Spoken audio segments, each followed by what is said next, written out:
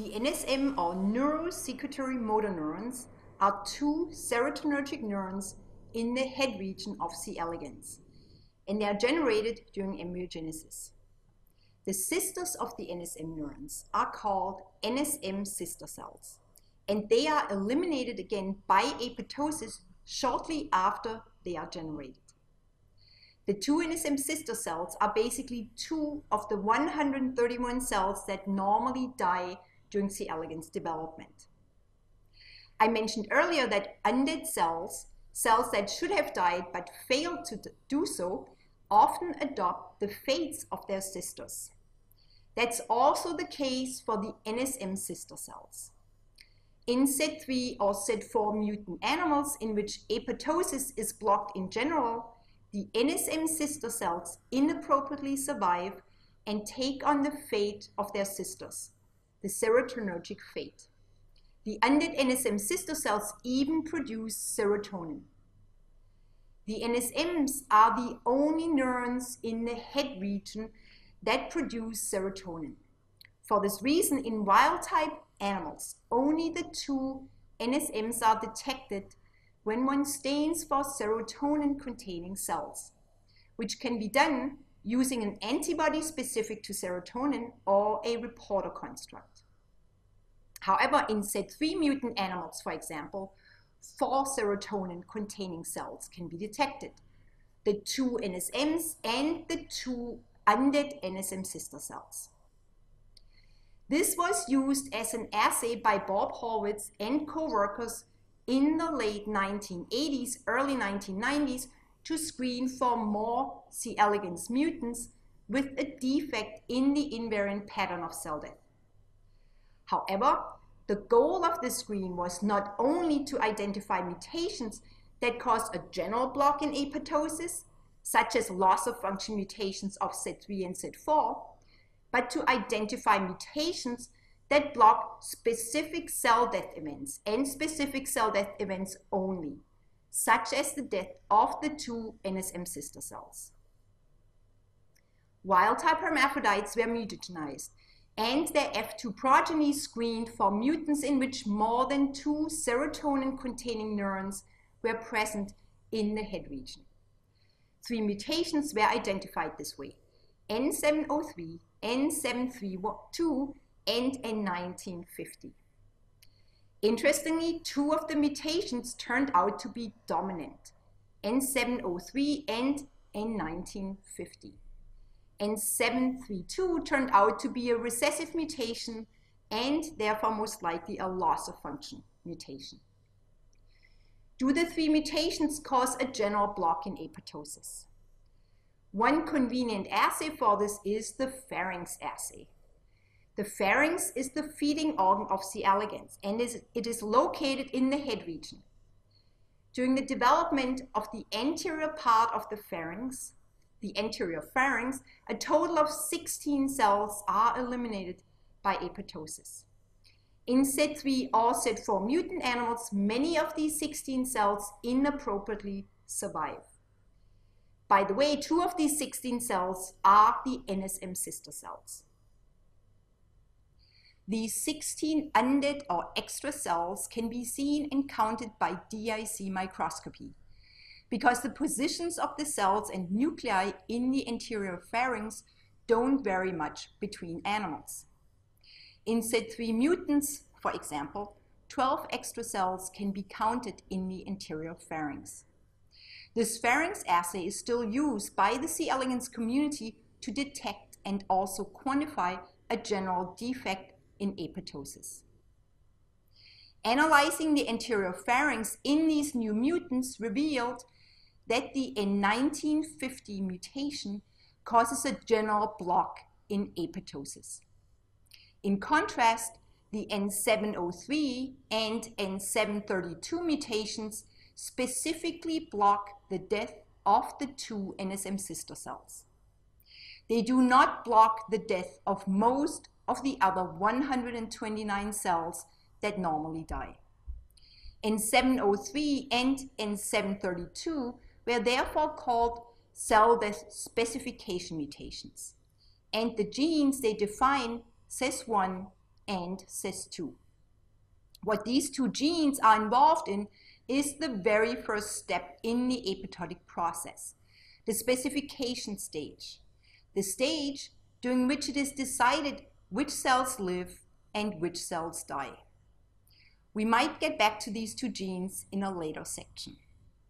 Going back to N1950, like loss of function mutations of ced-3 and ced-4, N1950 causes a general block in apoptosis. However, remember, N1950 is a dominant mutation. It is therefore most likely not a new allele of ced-3 and ced-4. What is the normal function of the gene defined by N1950, which was named ced-9? Can we find, find out about its normal function using N1950? Recessive mutations most often reduce normal gene function. However, dominant mutations can affect genes in different ways. In the simplest case, dominant mutations could increase normal gene function. They could cause an increase in gene expression or an increase in the stability of the gene product, or they could cause the gene product to be constitutively active. In that case, one refers to the mutation as a gain of function or hypermorphic mutation. One can test whether a mutation is a gain of function mutation by taking wild type animals and introducing into them by transgenesis multiple copies of the normal wild type gene of interest, the gene that is affected by the dominant mutation in the mutant. If animals with multiple copies of that gene exhibit the same phenotype that animals carrying the dominant mutation exhibit, the dominant mutation most likely is such a gain of function or hypermorphic mutation. The dominant mutation could also be a dominant negative or antimorphic mutation. In the case of dominant negative mutations, the mutant gene product generated from the mutant allele inhibits the wild type gene product generated from the wild type allele and it therefore induces a phenotype that may reflect the loss of function phenotype of the affected gene. One can test whether a mutation is a dominant negative mutation by introducing into animals carrying the dominant mutation multiple copies of the wild type gene. If mutant animals with multiple copies of the wild type gene no longer exhibit the mutant phenotype, the dominant mutation most likely is a dominant negative or antimorphic mutation. Dominant mutations could also affect a gene in ways that confer functions to the gene that have nothing to do with its normal function. Such mutations are then referred to as neomorphic mutations. For example, such mutations could cause the gene to be expressed where it is normally not expressed.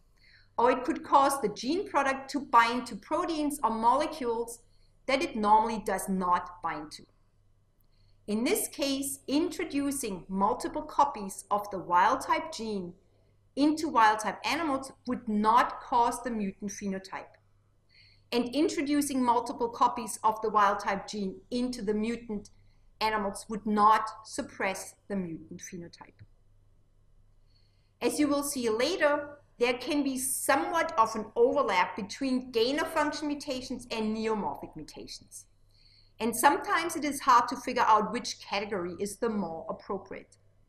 For example, for both gain-of-function as well as neomorphic mutations, introducing the gene with the dominant mutation into wild-type animals often confers on the wild-type animals the mutant phenotype.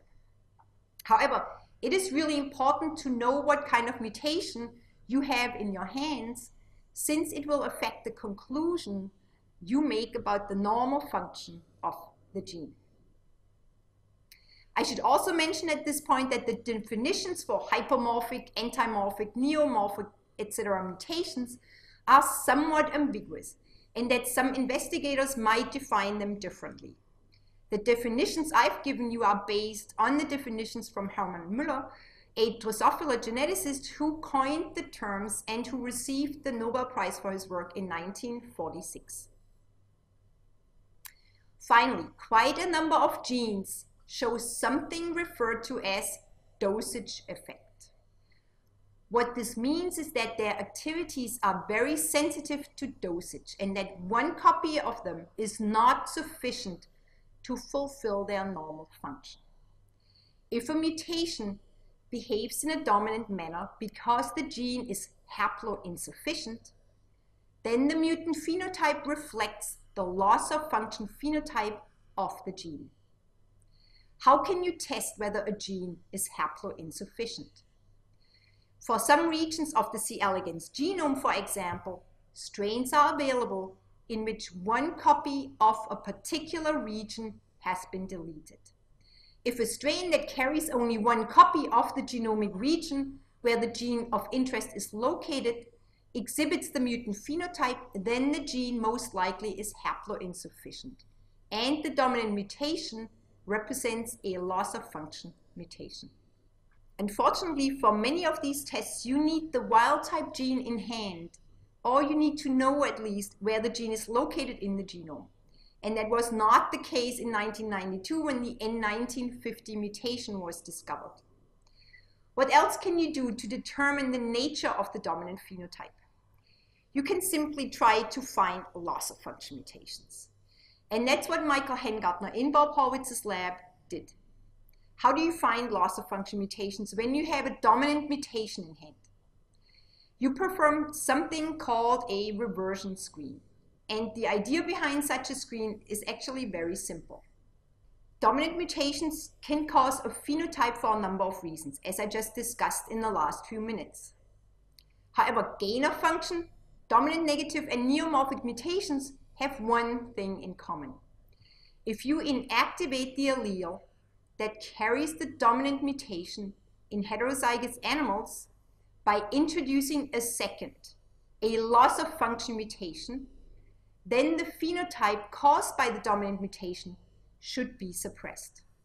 And this is the principle of the reversion screen. To do a reversion screen on N1950, Hengartner and Horvitz again took advantage of the egg-laying defective or Egl phenotype of egl-1 animals. Remember, the Egl phenotype of these mutants can be used as a readout for apoptosis. If apoptosis is working, the animals are Egl. If apoptosis is defective, the animals are non-Egl and can lay eggs. Michael Hengartner mutagenized males homozygous for N1950 and mated them with hermaphrodites homozygous for the egl-1 mutation N487. The F1 cross progeny is therefore heterozygous for both loci, N1950 over plus and N487 over plus. N487 confers an Egl phenotype in a dominant manner. N487 over plus hermaphrodites are therefore Egl. However, since the F1 animals are also heterozygous for N1950, which confers in a dominant manner a general defect in apoptosis, the animals have HSNs and therefore are able to lay eggs. N1950 basically suppresses N487. Now imagine what happens if the EMS mutagenesis hits the ced-9 gene carrying the N1950 allele in males, and if that second mutation is a loss of function mutation. In F1 animals, this new ced-9 allele no longer would be able to suppress the Egl phenotype caused by N487 because the new ced-9 allele no longer causes a dominant Ced phenotype. Therefore, such a F1 hermaphrodite should be Egl. And this is what Michael Hengartner screened for. In the F1 generation, he screened for rare egg-laying defective hermaphrodites using a stereo microscope. He screened a total of 9,000 F1s and identified three mutations, nDf40, N2077, and N2161. nDf40 turns out to be a deletion or deficiency of a particular region on chromosome 4.